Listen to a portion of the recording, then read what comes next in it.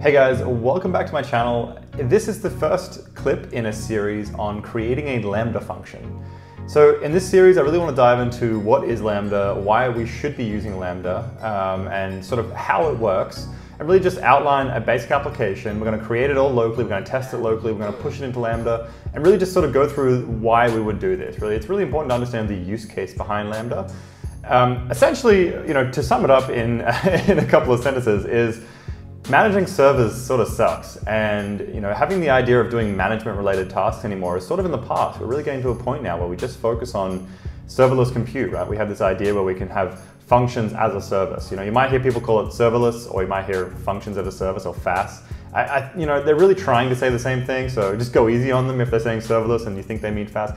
It's all good, really. You know, we're all we're all in this together, and what we're trying to do is eliminate the management of things that are just unnecessary. Right? We're all going to get to a point where we just start to build functions that sort of give business value or perform some action that fits in something with something nicely that already is performing and giving business value. So it's about how we can do this at the most minimal costs. Uh, you know, how do we avoid things like management? That's really where Lambda comes in. You don't have to worry about anything like management or whatever. It's just throw your function, uh, into Lambda and it will work out how to, how to run it and everything in, in, in whatever is running in, on the back end, right? So we'll go through a little bit of the theory behind it as we move through it, but essentially what I want to go through is this simple application here. So here we have a front-end user and this user is going to upload something to an S3 bucket. That S3 bucket, when that actual object arrives in that bucket, it's going to call Lambda and process that image and actually resize it. So we're working with images here. The user is essentially going to put an image into a bucket.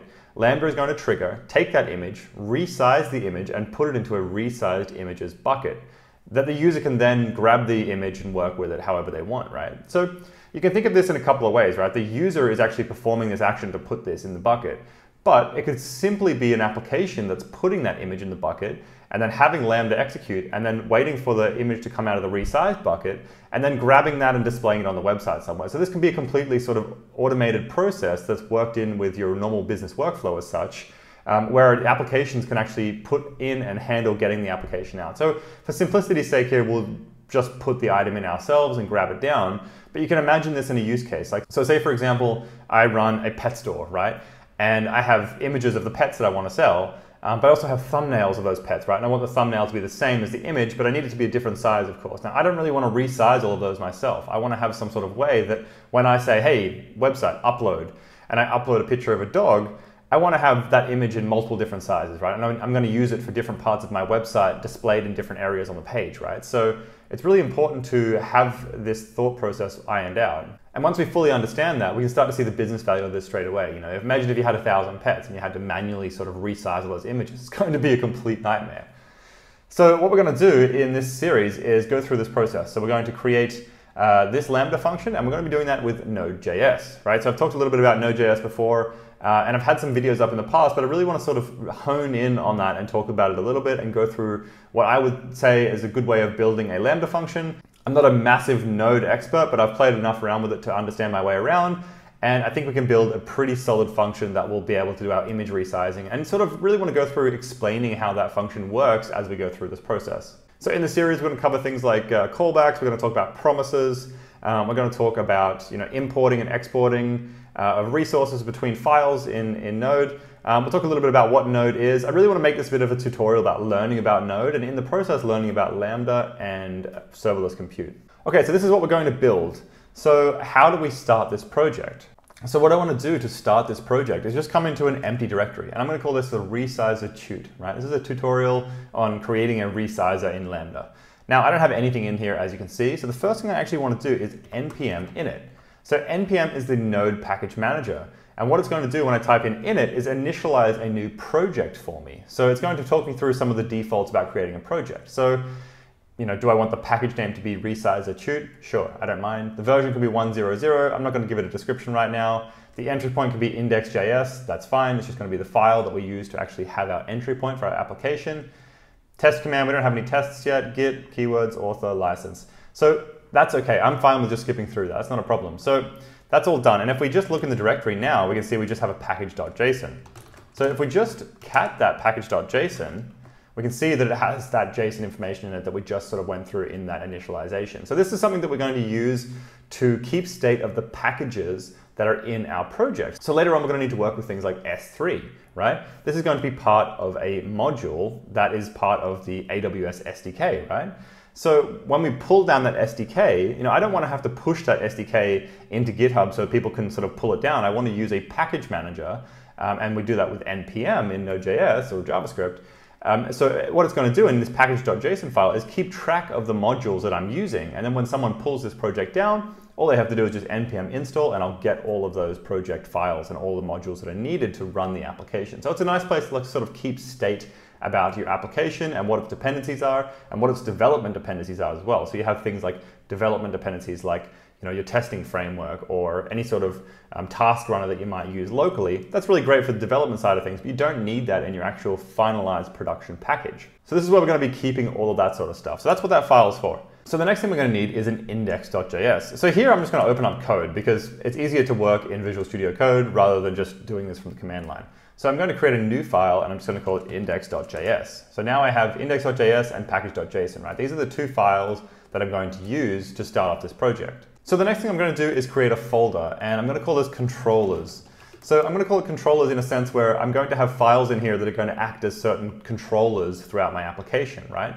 So when I start to think about controllers, I can already sort of get a sense of what we're going to need. And this is a really good idea to do if you start to build a modern piece of software, is to start thinking about it and conceptualizing it before you even start. And then so, okay, I'm going to need a controller, right? So you think about this and you go, okay, what's this actually going to do? Well, I'm going to need to put stuff in S3, right? I'm going to need to get stuff from S3, right? Because like when I put the thing in S3 the first time, that's a user doing that. But Lambda is going to need to grab that out of S3, the, the original bucket, process it, and then put it in the resized bucket, right? So it's going to need those two different tasks are going to have to be done. So I'm going to put that into a, a S3 specific controller. And why I want to do that is so that in the index file, I can simply import that file and get access to those functions that are created in that controller, right? So now it's just a way of encapsulating that content. So in here, I'll create something called S3JS, right? And that's just going to be in there as a placeholder for now, but we will use that later on. Okay, so I haven't even written any code yet, and this is fine because this is all I really wanted to do in the first video. It's just an introduction into what we're going to be creating, how it sort of works, and just a basic outline. Now I want to quickly have a chat about the module that we're going to be using, which is going to be called GM. So I just quickly wanted to chat about the module that we're going to be using throughout this series, and it's going to be called GM. So GM is GraphicsMagick, it's sort of a way to change the properties of images. You can do all sorts of fancy stuff. You can do overlay images where you put your Twitter handle on images, you can resize, you can format, you can shift them around, you can crop them, all that sort of stuff, right? This tool is really, really great for working with images.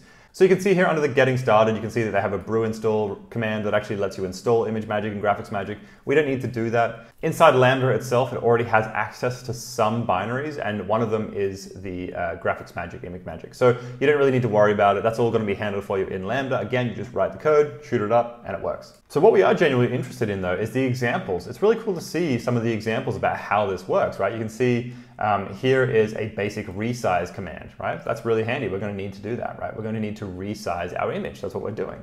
So what I really love about Node and NPM is that a lot of these sites, you can sort of use these examples and really just sort of bring them into your project. There's nothing wrong with just sort of taking that example and going, hmm, that's really good. I want to use that. Boom, let's do it.